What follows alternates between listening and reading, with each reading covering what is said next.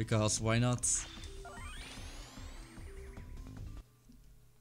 So for those that uh, are just coming in, hey everybody, what I'm doing right now is Ape Escape uh, Hundo.